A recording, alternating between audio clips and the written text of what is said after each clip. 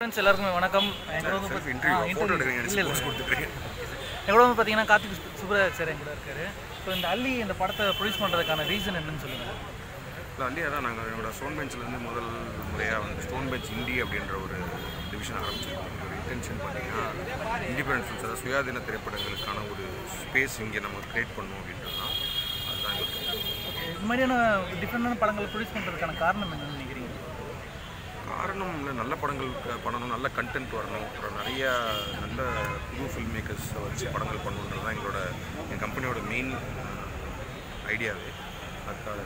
நம்ம தலைவரோட தர்பார் வந்து நல்லபடியாக போயிட்டு இருக்கு. ஸோ அதை உங்களுக்கு எந்த அளவுக்கு எக்ஸ்பெக்டேஷன் இருக்குது பயங்கர எக்ஸ்பெக்டேஷன் இருக்குது அண்ட் ஆஸ் யூஸ்வல் இது வரைக்கும் வந்த பாடல்கள் எல்லாம் சூப்பராக இருக்குது ஸோ எக்ஸ்பெக்டிங் பொங்கல் அப்போ போய் பார்க்கலாம் நீங்கள் அடுத்தது த- தலைவர் இயக்கிறதுக்கான வாய்ப்பு ஏதாவது இருக்குங்களா?